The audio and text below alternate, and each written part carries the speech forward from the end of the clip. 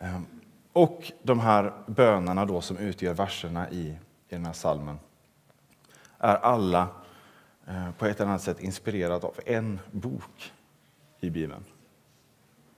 Jesaja bok i Gamla testamentet. En av de största profeterna som fick ta emot budskap från Gud till Israels folk i en tid som inte var särskilt munter. Eh, en tid som var mörk på många sätt. Och kanske är det därför som den också passar så bra som adventssalm, åtminstone här i Norden, där adventstiden verkligen är en tid av mörker och där ljuset får en sån betydelse för att skingra mörkret. Och den uppgiften, som ljuset i adventsmörkret, den uppgiften hade Jesaja eh, på sin tid eh, i Israels folk. Därför man hade omgett sig med ett mörker, därför man hade gått bort från Gud. Man har gått bort från, eh, från hans ord, från hans vilja, hans längtan för sitt folk och för den här världen. Uttryckt i de bud, de lagar som han gav på Sina i berg. Det är en av de sakerna som, eh, som vi får sjunga om i, i salmen i vers 2. Så är det den här bönen som, som jag tror man kan se att ja, Jesaja har på sitt, på sitt hjärta. Och kom, och kom, allsmäktig Gud, som när du gav oss dina bud i eld och moln på Sinai. Kom nu och gör den fångne fri. En bön som, som Gud lagt på Jesajas hjärta, att få vända tillbaka, få vända åter till, eh, till det som Gud hade gett för att folket skulle kunna få vandra nära honom. Och han varnar för att det kommer en tid som blir ännu mörkare. Assyrierna kommer och babylonierna kommer. Men Gud håller igenom det här. Gud börjar lita på Gud. Och när kungen Ahas står inför det här hotet, anfallarna, så kommer Jesaja till honom med ett budskap som har fått ge salmen titeln. Kom Jesus, kom Immanuel, ur fångenskapen lös var själ. Ge nu åt varje syndens slav den frihet du åt Israel gav. Immanuel, ett fantastiskt namn som blivit ganska vanligt, eh, som har sitt ursprung i det här budskapet som Jesaja fick bära fram till kung Ahas. Det står i Jesaja kapitel 7, vers 10 och framåt. Och det här säger han då alltså när Ahas står och fruktar inför ehm, anfallet. Vidare sa Herren till Ahas, begär ett tecken av Herren din Gud, nere från dödsriket eller uppifrån höjden.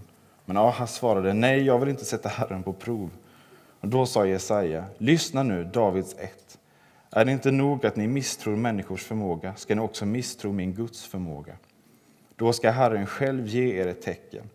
Den unga kvinnan är havande och ska föda en son och hon ska ge honom namnet Emanuel, Gud med oss. Och som de flesta andra översättningar säger, jungfrun ska bli havande och hon ska föda en son som ska heta Emanuel. Emanuel som betyder Gud med oss.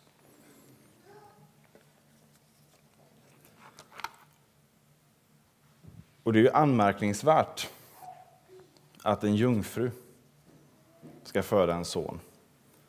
Och det är anmärkningsvärt också i vår tid. Det är många som har svårt att, att förstå det och ta det till sig, för att sånt händer ju inte. Eh, och det var säkert lika anmärkningsvärt på den tiden. Det var inte vanligt då heller. Men det är ett tecken från Gud att han handlar övernaturligt med sitt folk. Men minst lika anmärkningsvärt är faktiskt löftet som ligger i namnet Immanuel, Gud med oss.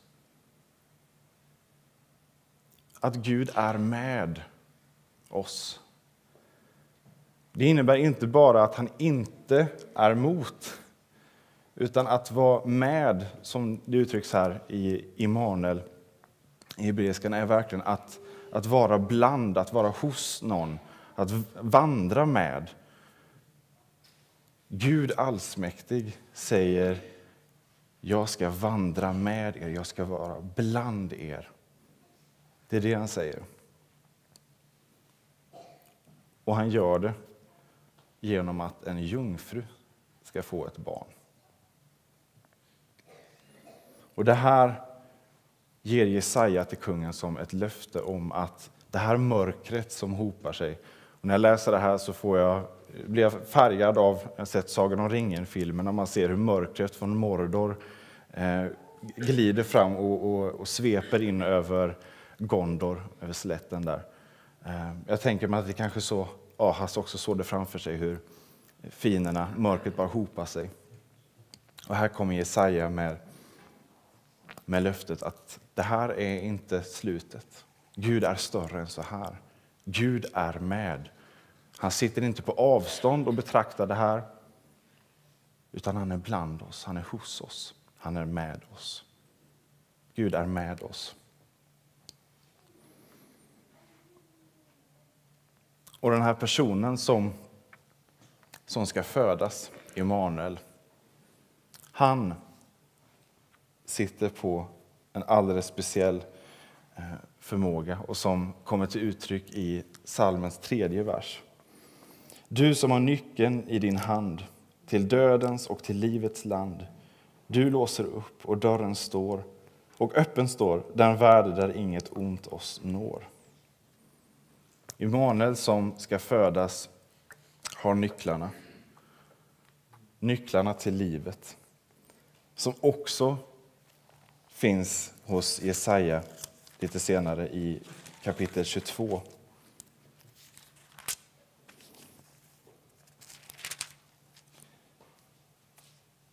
I vers 21 och framåt. Han ska bli en fader för Jerusalems invånare och Judas folk.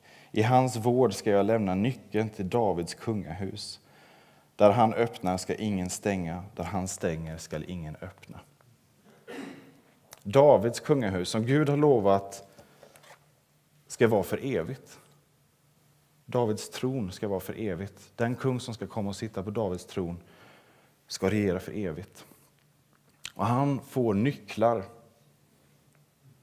så att han kan öppna så att ingen kan stänga, han kan stänga så att ingen kan öppna.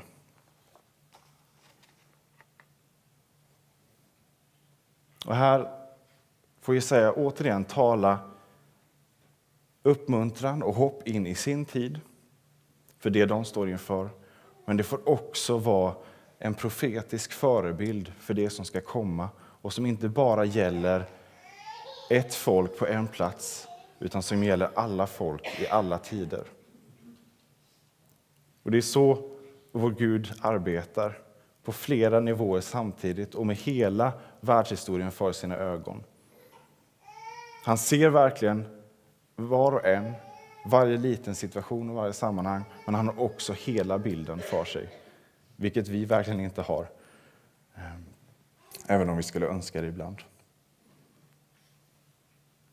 Och Immanuel som, som ska födas av en jungfru, som ska vara Gud bland oss, Gud med oss, han får nycklar. Nycklar som öppnar dörren till himlen. Och när han har öppnat dörren till himlen, för dig och för mig, så finns det ingen som kan stänga den. Då är den dörren öppen. Och han bjuder oss att gå in genom den. Och han kan också stänga. Och jag tänker att en sak som han stänger, det är dörren till skräpkammaren, där han lägger våra synder när vi ber om förlåtelse för dem. Då lägger han dem där och så stänger han dörren och då finns det ingen som kan öppna den dörren igen. Det finns ingen som kan peka på det vi har gjort därför att vi har fått lämna det till honom. Och vem är då han? Det som alltid är rätt svar söndagsskolan och som vi hörde här innan, Jesus. Det är ju han. Och när han kommer, då är det till en ung kvinna, en jungfru, Maria, som också befinner sig i en tid av mörker. Israel är ockuperat av romare som håller på att lägga den kända världen, eller har lagt den kända världen under sina fötter och styr den med järnhand. Och Maria, liksom hela folket, väntar på den här som ska komma. Den här som Jesaja har berättat om. Den som Gud har lovat ska komma och rädda folket, lösa folket ur fångenskap. Han måste ju komma, för att nu är det illa. Nu är vi återigen slavar, fångar under ett, eh, ett annat folk som har ockuperat oss. Och mitt i det här, mitt i den här tiden, så får Maria besök av en ljusets budbärare, en ängel som säger att det är du. Det är du som ska få vara med och, och bära fram den som ni har väntat på.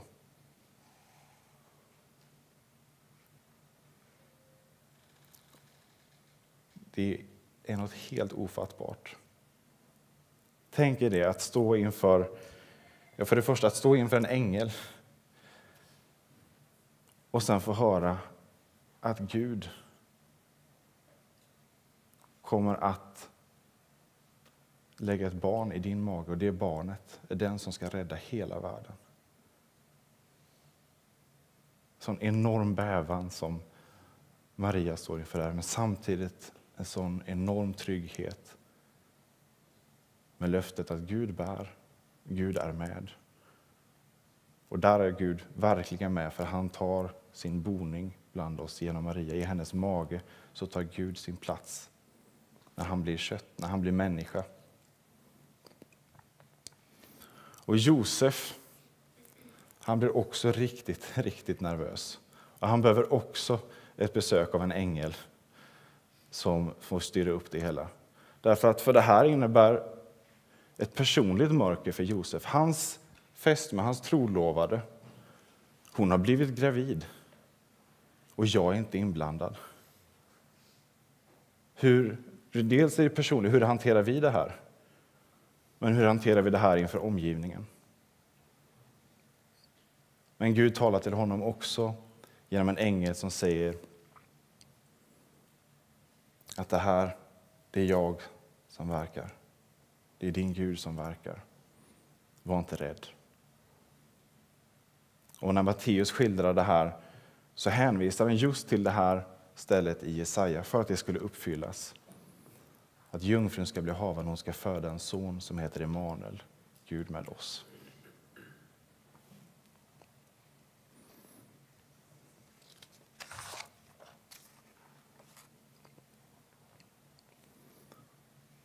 Och Marias svar på det här är helt fantastiskt. Vi läser det igen. Eh, som vi fick höra innan, från, eh, från Lukas, hennes lovprisning. Min själ prisar Herrens storhet. Min ande jublar över Gud, min frälsare. Han har vänt sin blick till sin ringa tjänarinna. Från denna stund ska alla släkten prisa mig salig. Stora ting låter den mäktige ske med mig, hans namn är heligt och hans förbarmande med dem som fruktar honom varar från släkte till släkte. Han gör mäktiga verk med sin arm. Han skingrar dem som har övermodiga planer. Han störtar härskare från deras troner, han upphöjer de ringa. Hungriga mättar han med sina gåvor och rika skickar han tomhänta bort. Han tar sig an sin tjänare Israel och håller sitt löfte till våra fäder att förbarma sig över Abraham och hans barn till evig tid. Vilken fantastisk proklamation, vilken fantastisk lovprisning det är. Som en ung, fattig flicka i Israel får brista ut. Det är därför att Gud har gjort någonting i henne, han gör någonting genom henne. Jag tror vi har varit lite rädda för att se på Maria i vår protestantiska tradition. Maria hålls väldigt högt i katolsk ortodox tradition. Ehm, där man har sett att ja, men det kanske går lite för långt, tycker man från protestantiskt håll, och så har man tagit ett steg åt andra hållet istället. Men vilken fantastisk förebild Maria är.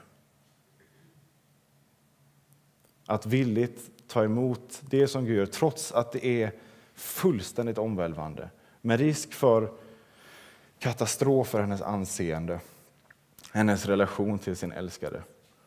Men hon vet att Gud är med. Gud bär igenom det här. Och låt oss få ha henne som en förebild i att faktiskt bära Kristus. Hon bar honom rent fysiskt. Men vi får också bära honom.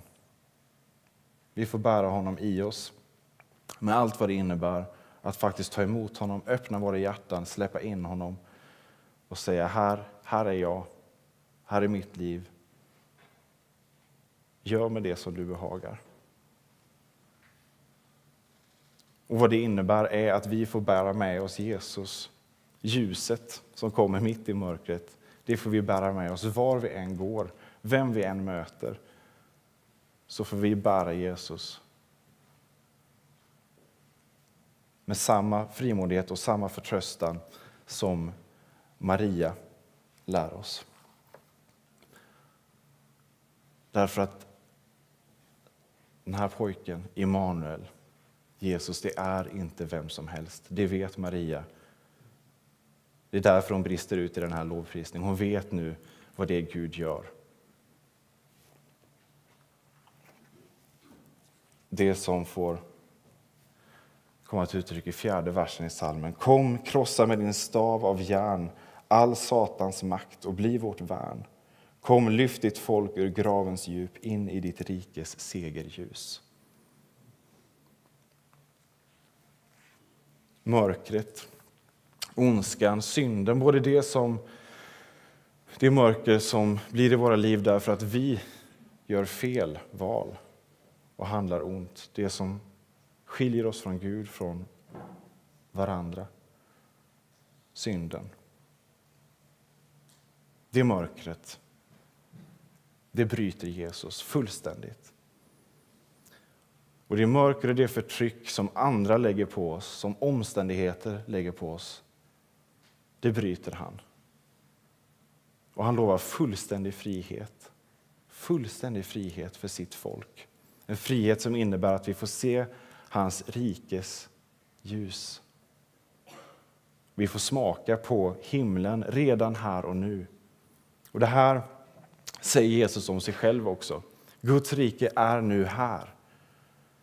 Och när han läser ur Jesaja bok i synagogan Herren har smort mig med sin ande att predika ett glädjebud för de fattiga, frihet för de fångna och syn för de blinda. Då säger Jesus, det här är jag.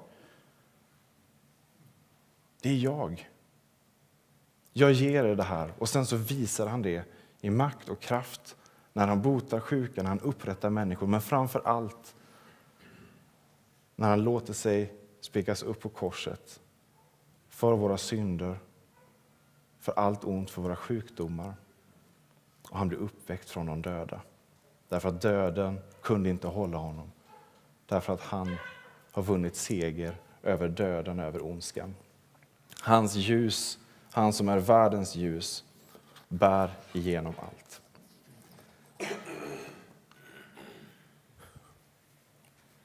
Det är svårt för oss att, eh, att se när mörkret hopar sig.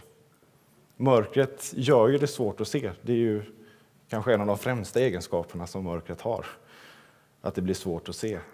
Och det grumlar liksom våra ögon. Ehm. Men då tänker jag eh, på det ordspråket som Harvey Dent i filmen The Dark Knight lärde mig. Det är ett gammalt ordspråk, men det var hos honom jag hörde det först. Eh, där han säger natten är alltid som mörkast precis före gryningen och gryningen är snart här. Och det är det som också kommer fram i episteltexten för den här söndagen när Paulus skriver i Romarbrevet kapitel 10, vers 4 och framåt. Kristus är slutet på lagen så att var och en som tror kan bli rättfärdig. Ty om den rättfärdighet som lagen ger skriver Mose, den människa som håller buden ska leva genom dem. Men den rättfärdighet som tron ger säger, fråga inte i ditt hjärta, vem ska stiga upp till himlen, det vill säga för att hämta ner Kristus? Eller vem ska stiga ner i avgrunden, det vill säga för att hämta upp Kristus från de döda? Vad säger den då?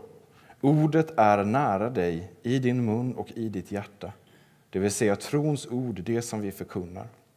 Ty om du med din mun bekänner att Jesus är Herre och i ditt hjärta tror att Gud har uppväckt honom från de döda skall du bli räddad.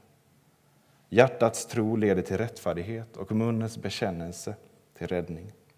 Skriften säger ju, ingen som tror på honom ska stå där med skam. Det är ingen skillnad på jude och grek, alla har samma Herre och han ger av sin rikedom åt alla som åkallar honom. Ty var och en som åkallar Herrens namn ska bli räddad.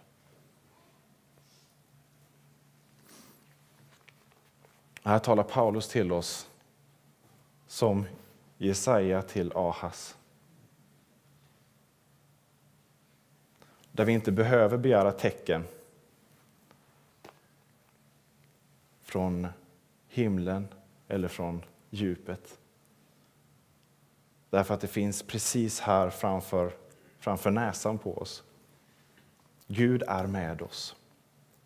Han är dig nära i ditt hjärta. Guds ord, Guds levande ord, Jesus Kristus, har blivit människa, är här och är bara en, ett ord bort. Jesus. Den enklaste och samtidigt den viktigaste bönen vi någonsin kan be. Där vi ber Jesus, kom in i mitt hjärta. Förlåt mig för min synd. Tack för din förlåtelse. Gör mig till din lärjunge. Hela den bönen kan få rymmas i bara Jesus. Han som är Gud med oss, bland oss, hos oss, för oss. Immanuel.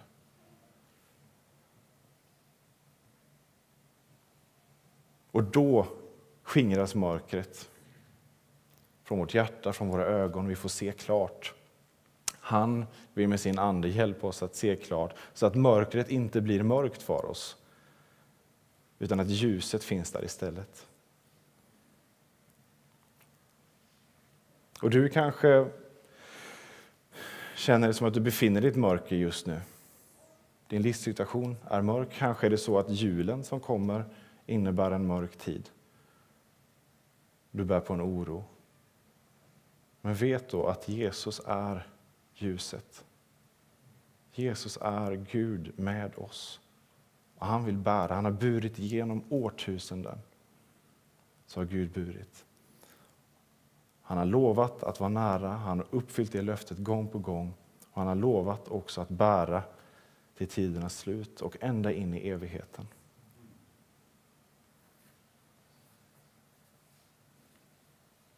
Och du kanske står med en undran, vad, vad kan Gud göra i mitt liv?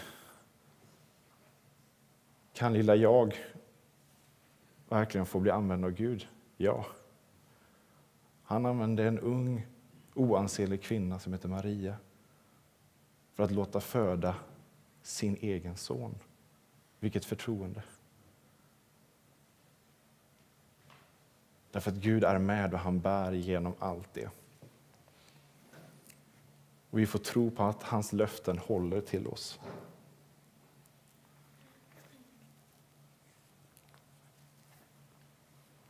Och då kan den sista versen få tala till oss. Lys morgonstjärna, Gud har tänt. Och kom till oss, kom Guds advent. Förjaga mörkret tills vi ser en värld där Gud, din vilja sker. Och med det löftet, med den längtan, också få veta att vi frimodigt, därför att Gud är med oss, kan få sjunga refrängen om och om igen. Var glad, var glad, Immanuel ger frihet åt var bunden själ.